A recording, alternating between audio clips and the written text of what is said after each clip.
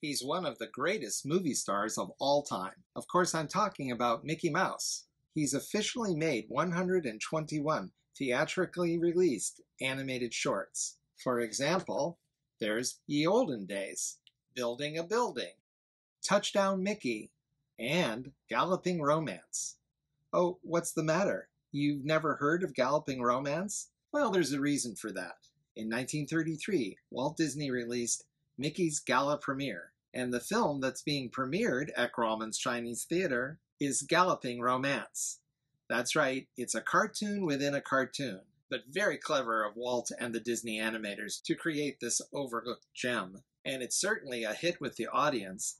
Mickey has them rolling in the aisles, literally.